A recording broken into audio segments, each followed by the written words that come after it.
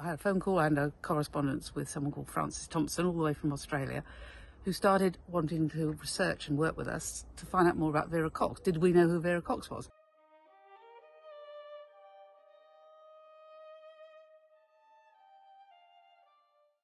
She starts filling us in about information and told us all about Great Comp. Again, I'd never heard of Great Comp until today. I'd never visited, and it is just such a beautiful place.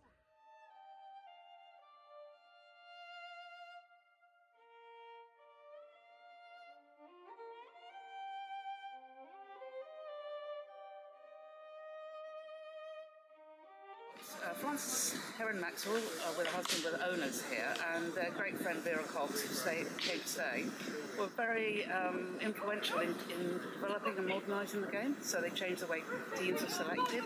They gave opportunities for lots of uh, new players coming to the game. There were tournaments here, and then they'd have all sorts of shows in the evening, and all sorts of teams of girls came there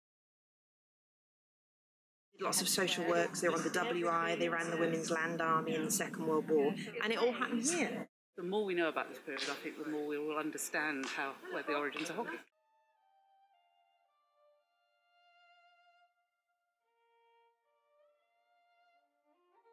Um, and this was an era of uh, suffragette movement, how brilliant these women were. Think it's not just a sport. I think it also links into society at the time. A movement that said women need to have exercise.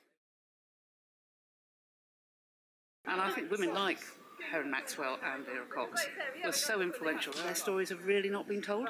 Hidden history, really, of the development of women's hockey.